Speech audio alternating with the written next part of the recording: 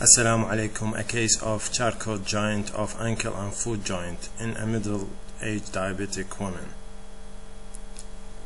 Uh, the charcot joint is caused by loss of sensation in the joint so that it is severely damaged and disrupted.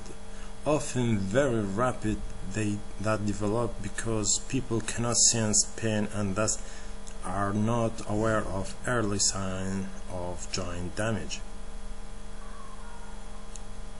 Uh, look at the x-ray uh, which show loss of cartilage of the foot and the, the ankle joint. And here is the my case uh, a middle-aged woman look at the joint which is boogie and swollen, swollen. Look at the big toe. It is a diabetic foot. And uh, if we compare both this is the abnormal and normal